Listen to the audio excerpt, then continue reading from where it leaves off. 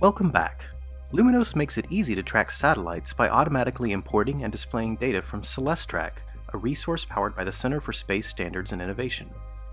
No registration or account is required for satellite tracking. First, use the browser to configure your satellite display. Here, we've pre-configured a few categories of satellite data to download and display. To set up your own tracking, tap the Celestrak option in the data sources. The first option, Automatic Downloads, lets you choose whether or not to have Luminos automatically retrieve updated satellite data if its current data is older than 3 days.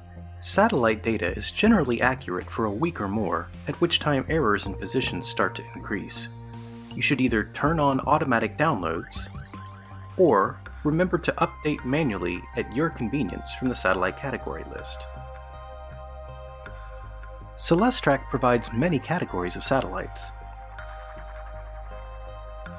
activate the switch to include a particular category in your downloads. Once you've selected your satellite categories, make sure to render them if you want to see them in the sky. Satellite colors in the sky will match their color in the category list. Any category not checked will not be rendered. If you want to view satellite data from another source, you can also configure Luminos to download from any web location of your choosing that hosts data in the common TLE format.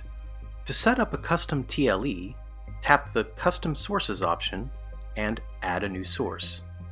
For this example, we'll manually set up a custom source to track space stations, which are a category already included from Celestrak. First, we enter a name to identify the source. For demonstration purposes, we'll paste in the same TLE location that Luminos already uses to track space stations from Celestrak. Your new source will be listed in the sources list and in the satellite categories. Make sure to render and update it.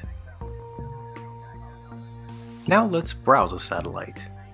Each satellite has an information display with location data as well as a set of actions. One of the most interesting actions for satellites is Ride Along. Tapping Ride Along will shift your camera to the position of that satellite.